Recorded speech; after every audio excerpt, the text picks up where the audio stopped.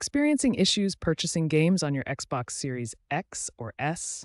You're definitely not alone in this frustrating problem. As of August 2025, Microsoft Store purchase errors remain a frequently reported problem, affecting 15 to 20% of users.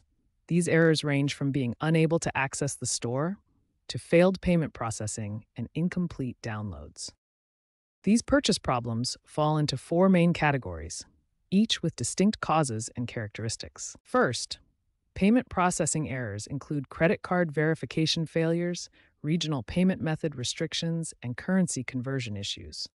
Second, network connectivity issues involve DNS resolution problems, NAT type restrictions, and firewall blocking. Microsoft Store services. Your Xbox network settings play a crucial role in successful purchases. Third, account and licensing problems include Xbox Live subscription conflicts, family sharing restrictions, and regional account mismatches. Fourth, system level issues include corrupted store cache, outdated system software, and storage space limitations.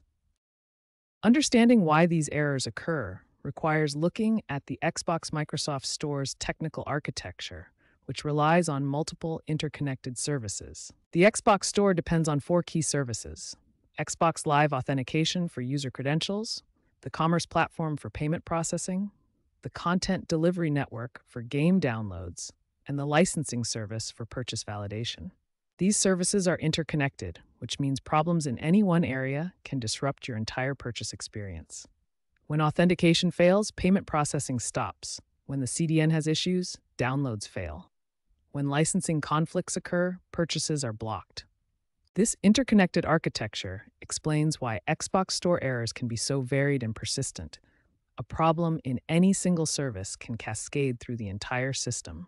When Xbox Store purchase errors occur, start with these immediate solutions that resolve most common issues quickly and effectively. Clear your local saved games and profiles to remove corrupted data that might interfere with store operations. Reset your network settings and ensure your system software is up to date as outdated software often causes store connectivity issues. Next, verify your account settings. Ensure your payment methods are current and valid, as expired cards are a leading cause of purchase failures. Review your family sharing permissions, as parental controls and sharing restrictions can block purchases even with valid payment methods. Network configuration is crucial for store functionality. Configure your router for Open NAT type to ensure proper communication with Microsoft's servers. Recent data shows the effectiveness of different troubleshooting methods. Hard console resets have the highest success rate at 78%.